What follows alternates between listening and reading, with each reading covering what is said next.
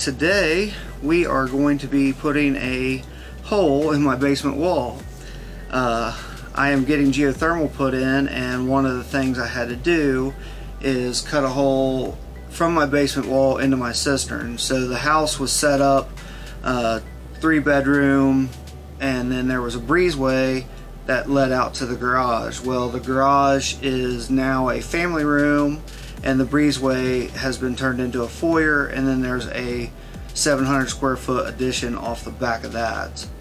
So as it stands right now I have two HVAC units. One is a uh, heat pump with electric backup and the other one is a heat pump with propane backup and I have Sense in my house so uh, it goes on my electric panel and I can see what all my electric pulls and from what I understand my two units are costing me about 49% of my uh, electric bill. So one of the reasons uh, one's an old 10 SEER the other one's a 12 SEER and or 14 SEER I can't remember. But they're just so energy efficient right now. So what I'm going to do is I'm going to put in ge geothermal or have it put in because I don't have the the tools necessary to do that. Um, so I'm gonna cut some holes into the wall and then I'll do a time lapse. That way you guys can see this how the saw works. So what the saw is is it is a two blade saw okay?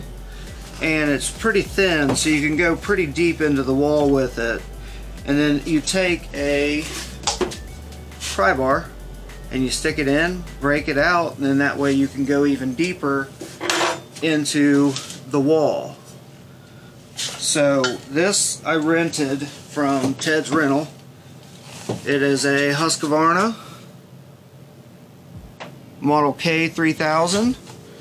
Uh, it's called Cut and Break. Uh, it is electric because I am inside my house. So what I have to do is uh, my wife is going to come down and actually help me and what she's going to do is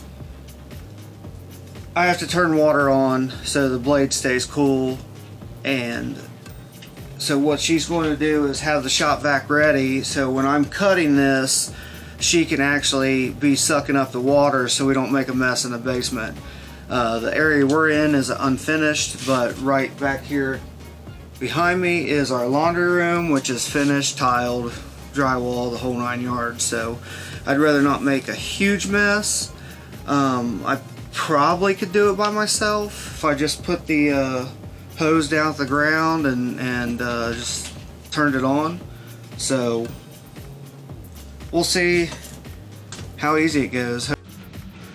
So I got my golf cart out here so I can dump the concrete into this and then take it down to my dump site. But luckily I have a uh, doggy door and was able to run my hose through it so it's pretty hot outside so this keeps it still cool in here. So there's my shop vac to keep the water from going everywhere. And this is the wall I'm going to cut. So there used to be a duct that went through here but I took it off the main unit because the main unit could not keep up with this side of the house and that side of the house so what I did is ran it from the other one over to the existing stuff. And this is where we're going to be heading into.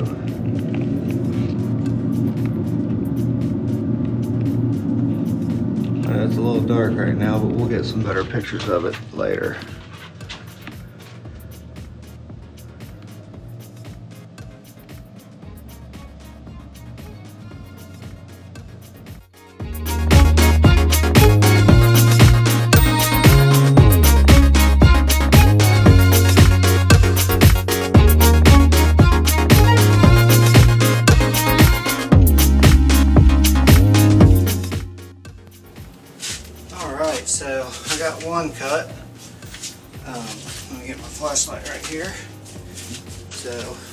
You guys can see, but it really does a really nice job. The only thing I'm worried about is up here at the corners. It's kind of hard to get, but I got pretty much 90% of that corner. And then this one went all the way to the floor. So I just got to do a little finish work on that. But I'll wait until I cut some more lines in and that way makes this concrete movable.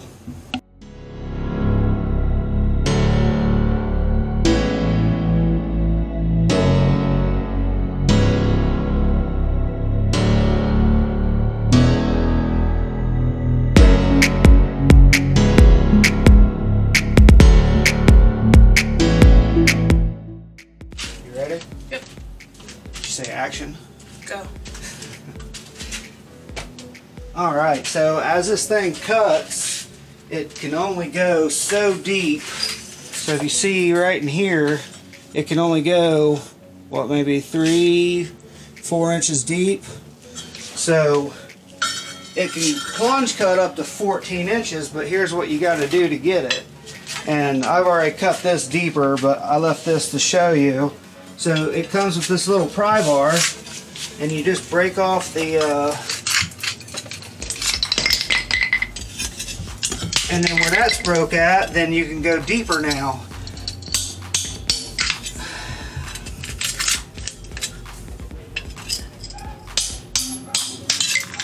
And there it just falls out, so you just gotta keep cutting a little bit and then breaking a little bit. But all in all, so far, the first cut took me a little bit longer just because I was trying to figure out the the tool itself. So now that I figured it out, it actually goes a little bit quicker, I think. Probably took, what, 40 minutes, honey, to cut the first hole? Longer. Or, or longer, yeah. An. Now we did have to stop, take the bucket of concrete out, dump it, and dump the shop vac twice. And I think it's only a 10, yeah, 10 gallon shop vac, so I don't think it's too difficult, but what I'm doing is just breaking a little bit and cutting a little bit and breaking a little bit. It is a kind of time consuming process, but it's way better than using a single single uh, electric saw like I was going to. Luckily the the guys at the rental place cared enough and they said, well what are you doing? I said, well I'm cutting out a basement wall. He was like, well I got a perfect tool for you. And I think I said this before, but it was $150 to rent for a full day, for 24 hours. So I can't complain.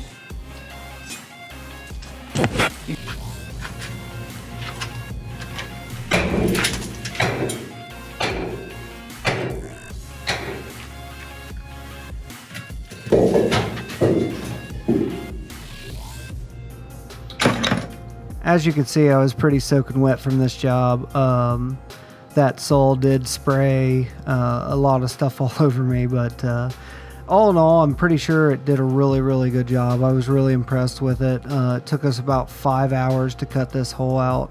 It's about two feet wide. Um, and I mean, all I gotta do is pull out the concrete later on. I'm gonna take it down. It actually rained, and I did a previous job where the backyard's still muddy, so uh, I would rent this in a heartbeat again if you ever have to uh, cut a hole in your basement wall or any any wall. Actually, uh, it makes very easy removal of the concrete. Um, I was very impressed with it, but like I said, it did make me a little wet, and other than that, it worked really well.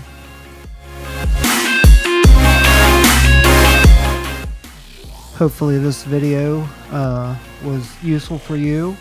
Uh, if you could please like and subscribe to my YouTube channel and I will be doing more reviews as I do projects around the house. So I just want to thank you for taking the time to watch my video and look forward to giving you another one.